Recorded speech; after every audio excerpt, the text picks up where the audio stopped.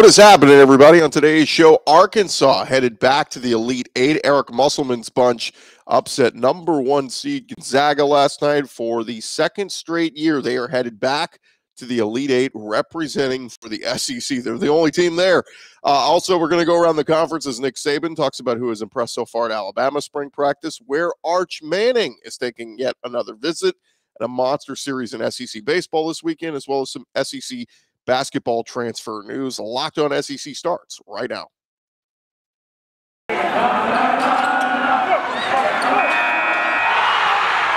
You are Locked On SEC, your daily podcast on the Southeastern Conference, part of the Locked On Podcast Network. Your team every day.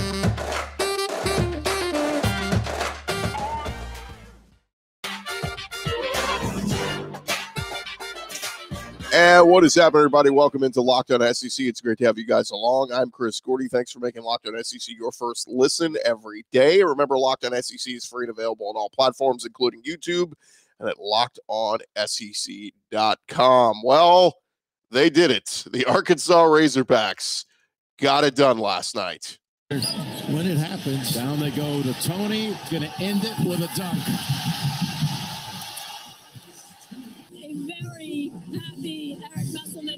You told us no one was giving this team a chance to come in here and beat Gonzaga. What did your team show you out here tonight? Uh, same thing all year. Basically, Tracy is really great toughness.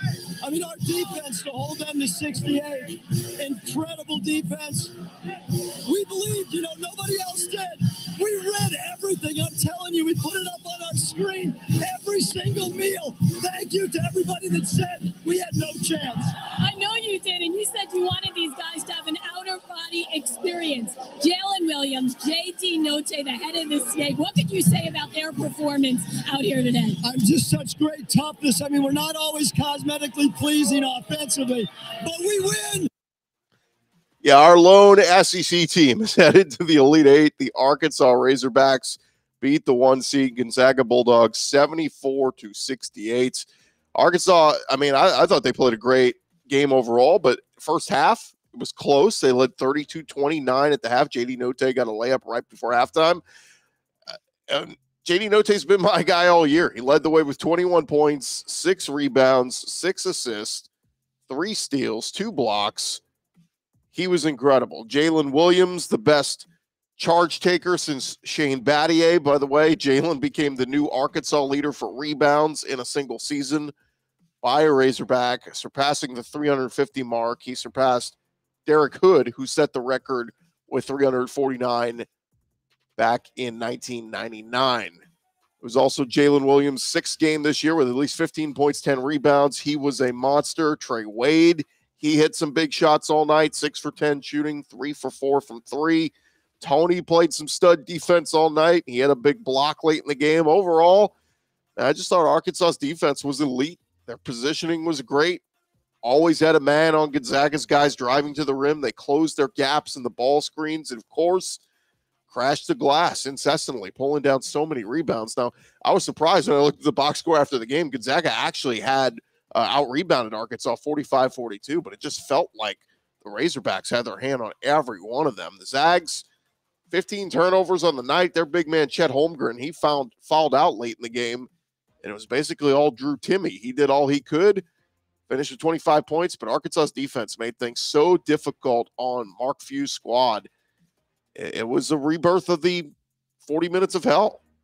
Unbelievable. And the Hogs looking ahead, uh, they were 0 10 against number one seeds in their history. You throw that stat out the window because they have now broken that. Um, on February 8th, Arkansas beat number one Auburn. On Thursday night, they beat number one Gonzaga. They are the first team all time to beat the AP number one team in the regular season and in the NCAA tournament in the same season. Pretty incredible stuff there. And how about Eric Musselman? Back in the Elite Eight for the second straight season. That is no easy feat. Of course, the last time the Razorbacks did that was in 94 95, but three years there, Muss has turned Arkansas back into one of the elite programs in all of college basketball, not just the SEC. Got to give a shout out to AD Hunter Yurachek and all of the Arkansas athletic department. What a run they have had across so many of their sports. Uh, just an incredible night. Look, there was a lot of people complaining about uh, the refs being terrible, and they were. But look, anybody who wants to complain about Jaylin Williams taking those charges, he's been doing that all season. Ask anybody from around the SEC. We've been watching him. If you have a team that played to Arkansas and lost to them, and Jaylin Williams was falling backward, taking those charges, that's what he's done. And they have called it all year long. So some Gonzaga fans were not happy about those, but it's part of this Arkansas team, this makeup. But as I have always said, it is as JD Notae goes, so go the Razorbacks, and so go the Razorbacks on to the Elite Eight. Now, a little disclosure here: we're recording this. We don't have a final yet from Texas Tech Duke. So next up for the Hogs, they get the winner of Texas Tech Duke on Saturday. Of course, this is where the road ended for the Razorbacks just a year ago. Losing to Baylor, they put up a really good fight against them. Can they get over the hump here and get to a Final Four? It will be outstanding uh, if they're able to do that. But again, the lone SEC team coming into this weekend stays alive. Congrats to the Arkansas Razorbacks. And by the way, a quick shout out to our buddy John Neighbors, who joined us on the podcast earlier in the week, previewing this game. He's been out in San Francisco covering the Hogs. Take a listen to Locked on Razorbacks if you get a chance. He'll have more on this uh, win for the Hogs and a whole lot more, man. See if they can keep this thing going and advance yet another weekend. Thanks again for making Locked on SEC your first listen every day. Coming up next, we're going to go around the conference with some football notes, also some basketball notes as well. We'll get to all that in just a second. Uh, but first, need to remind you about our friends over at Built Bar. This is the time of year that a lot of you have given up on your New Year's resolutions. You need to go check out our friends at Built Bar. They have got low calorie, high protein, uh, 130 calorie bars, four grams sugar, four grams net carbs, 17 grams of protein packed in there. It is healthier than a candy bar. It is the type of thing if you're leaving the gym and you need a protein bar, stuff it in your gym bag, whatever, grab a built bar. It is such a healthier alternative than some of the junk food that they have out there that I know you're eating in the afternoons waiting to get off of work or whatever. Mint brownie, coconut, coconut almond. There are tons of different flavors to choose from. You can go check them all out on their website at built.com. Use our promo code LOCKED15 when you check out. That will get you 15% off your order. Again, use the code LOCKED15. You'll get 15% off over at built.com. Built Bar. They are all about taste. They are delicious. Check them out.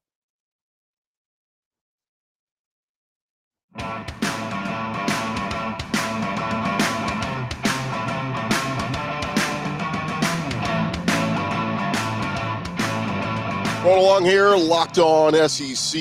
Thank you guys again making Locked On SEC your first listen every day. A little bit of a different format today since we had to start with uh, Arkansas advancing to the Elite Eight. But let's just jump into it. Let's go around the conference with some football news. Boots out to the right.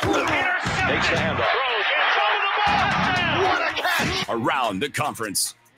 Alabama and Nick Saban putting on the pads this week for the first time, starting up their 15 practice spring session. Nick Saban talking with the media and highlighting a couple of guys he said has stood out so far. One of those, a transfer in running back Jahmyr Gibbs coming in from Georgia Tech. Looking like he's a guy who could take over that workhorse role at running back for the Tide. Nick Saban said, Look, he's been a good addition to our team. He's got great speed He's a good receiver, good third down back, great vision. He's got a really good burst out of his cut. He said, I'm really, really impressed with what he's been able to do so far. He's smart, he's picking things up fast. An experienced player does a good job of understanding what we're trying to do and how we're doing it. And that's what experienced players do. He's done a really, really good job. That's a great compliment. You know, you don't normally get that kind of praise from Nick Saban being a player who just got to the program.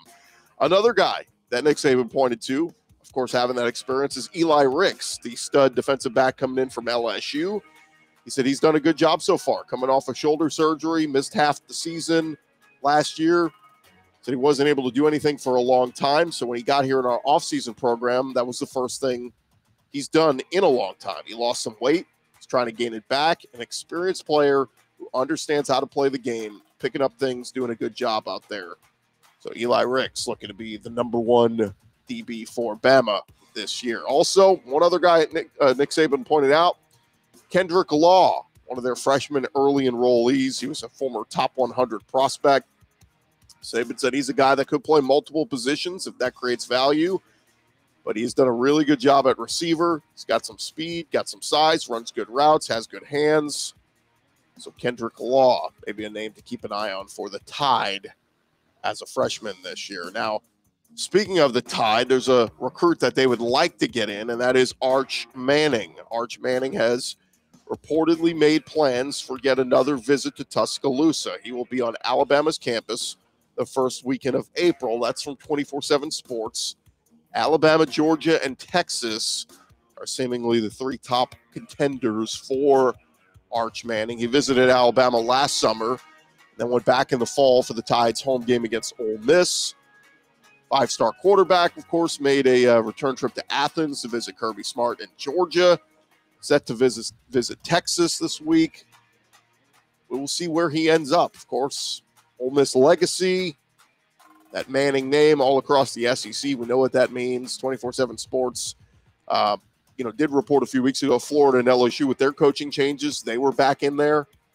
Uh, but earlier this year, Arch did remove Clemson from his top list of teams. So he will presumably check out Alabama spring practice coming up the first weekend of April, the annual 8 A spring game, by the way, set for April 16th. That'll be after Arch Manning's visit. Little news over at Vanderbilt. Clark Lea staff, they've added an experienced defensive lineman from the FCS ranks through the transfer portal. Former Cal Poly defender Miles Cecil announced he is headed to Vanderbilt, taking advantage of the NCAA waiver for the COVID impacted season. Started at Cal Poly back in 2017, redshirted his first year on campus, played in 36 games, made 31 starts last four seasons. Uh, the Mustangs 2020 season was limited to just three games uh, played in the spring of 2021. In his career, Cecil's recorded 100, 126 tackles, five and a half sacks, last year posted career highs of 43 tackles and two sacks. So we'll see what he can do for the Vanderbilt defense.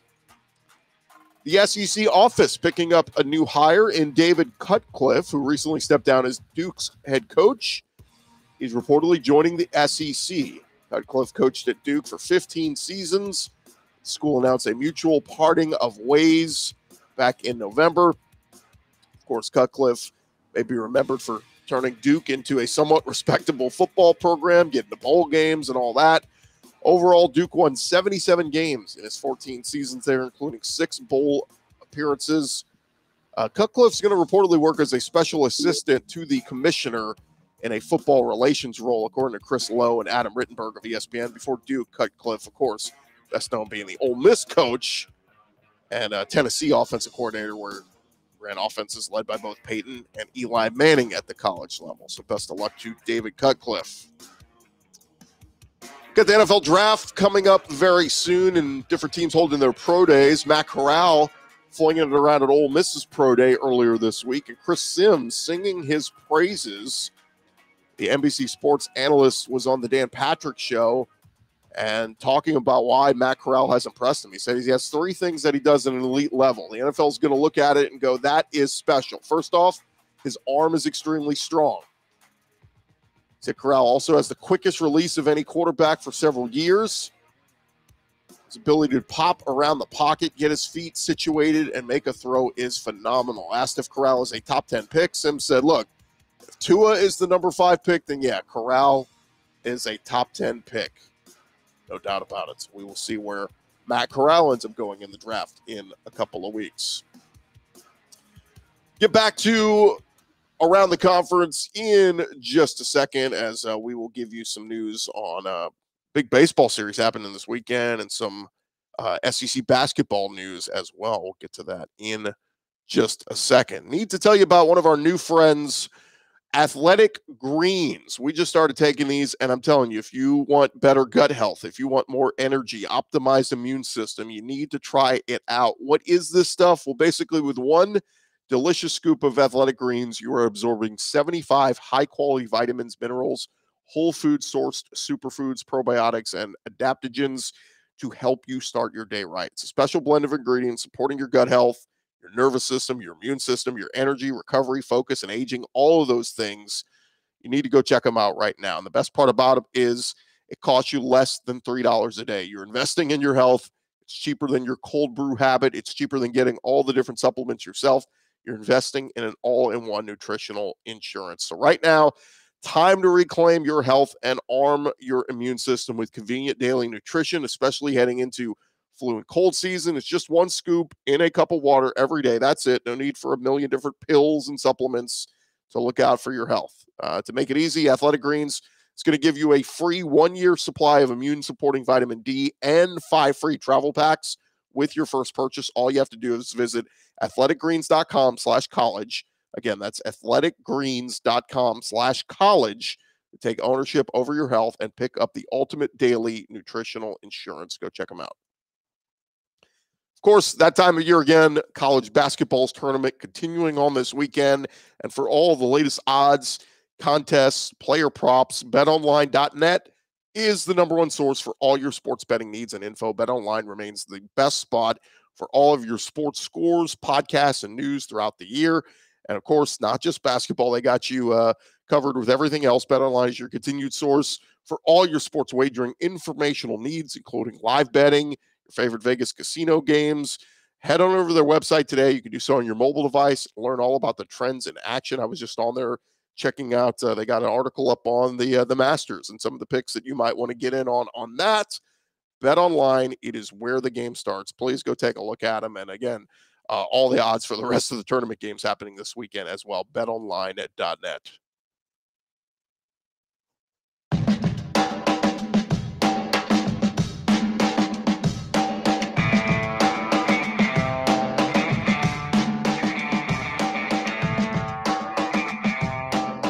Continue on here, Locked On SEC. Again, thank you for making Locked On SEC your first listen every day. Let's continue on with our uh, round the conference because we still got plenty we have to discuss here, um, particularly with baseball. And we'll jump right into it. A big, a monster SEC baseball series taking place this weekend.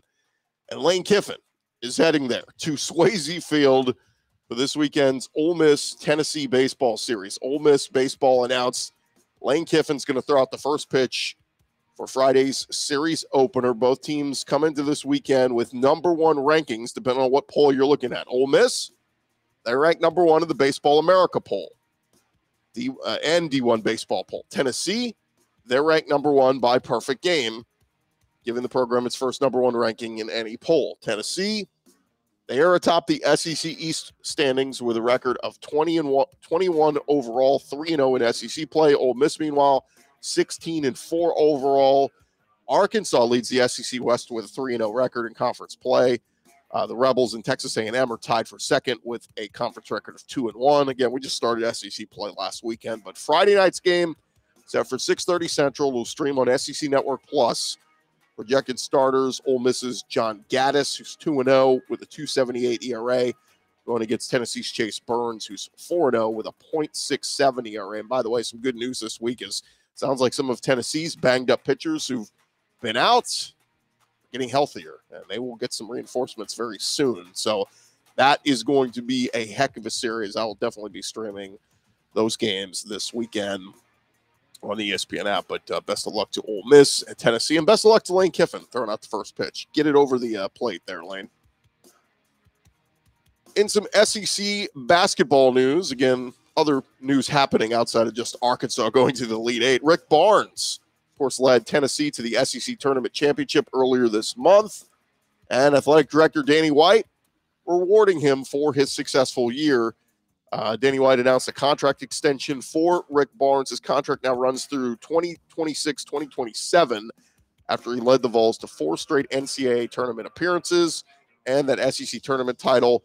Of course, was just the fifth in program history, first one since 1979. Led the Vols to some great feats, including uh, spending the entire season ranked in the AP top 25. They're ranked number five in the postseason poll. Tennessee also never lost back to back games this past season.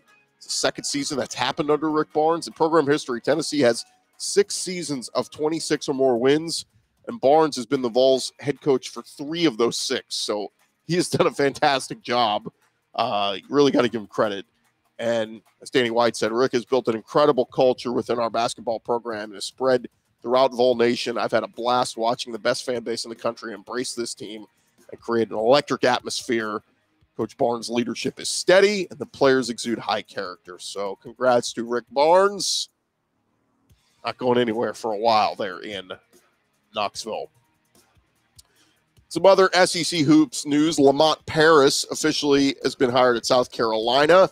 Board of Trustees approved his five year contract to coach the Gamecocks men's basketball team. His contract is 12 million. He will make 2.2 million his first year and average 2.4 million over the length of the deal. Comes over from Chattanooga, where he's been since 2017. The Mocs made the NCAA tournament, but lost in the first round. They went 27 and 8 this past year. He's 47 years old. First African American head coach to lead the Gamecocks. They, the school announced in a news release. In his five seasons, he led the Mocs to an 87 and 72 overall record, including 65 and 29 the last three seasons. So again, capping off all the hires for the uh, all the SEC vacancies, a lot of mid-major guys, a lot of guys who are doing well at some of the smaller schools, but now getting to be on the big stage, like uh, Golden at uh, Florida, McMahon at LSU. Um, all the new hires we have across the SEC. A lot of the mid-major guys getting to be on the big stage for the first time. We'll see how they do. Some movement around the SEC basketball world. Dontaie Allen announced on Thursday he is headed into the transfer portal. He's a kid from Kentucky, played for Big Blue Nation, shared his appreciation for Kentucky on social media. Said his last three years have been special there. He's six foot six uh, he's a forward out of uh, Kentucky, averaged 2.2 points and 1.2 rebounds this season after he averaged over five points a game his freshman season. So he is entering the transfer portal. We'll see where Dontaie Allen ends up. Also, another guy over at Auburn, Devan Cambridge. He's one of their uh, rotational players this past season, junior guard slash forward. Uh, great dunker, makes a lot of highlight reels. He is in the transfer portal. He announced, first and foremost, I'd like to thank Bruce Pearl, and the coaching staff, for giving me an opportunity of a lifetime. I'd like to thank my Auburn family. So, no matter how, how hard it may be for me to leave everything we've created together, things have to end for a new beginning to form. With that said, I'll be entering the transfer portal. One more guy after a season at LSU coming over from Missouri, Xavier Pinson is on the move again. Billy Embody of On Three Sports announcing Pinson has entered his name into the transfer portal. He will be a, a, graduate transfer in his lone season at LSU, played in 27 games, averaged 28 minutes, just under uh, 10 points a game, 4.8 assists. Missed time in the middle of the year with an MCL sprain in his right knee after LSU got off to a 14 and 1 start.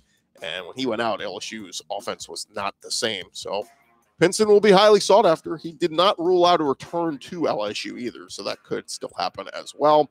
And then a day after Vanderbilt fell in the NIT to Xavier, the Commodores learned that guard Max Adelman is entering the transfer portal. He appeared four games for the Commodores this past season. There you have it. That is the latest news from around the conference. A lot going on in uh, all aspects baseball, basketball, football spring practice. And we'll have plenty more information as all these spring practices get up and running here over these next couple of days. So, all next week, keep an eye out. We'll bring you a lot of the news from around the conference when it comes to spring practice. Of course, we'll see if the Arkansas Razorbacks can get to the Final Four with uh, a win in the Elite Eight potentially on Saturday. So, we'll uh, recap all that for you coming up next week. You guys have a fantastic weekend. I'm Chris Gordy.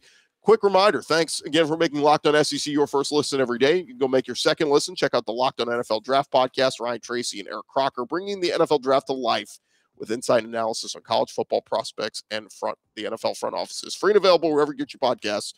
I'm Chris Gordy. Talk to you guys on Monday.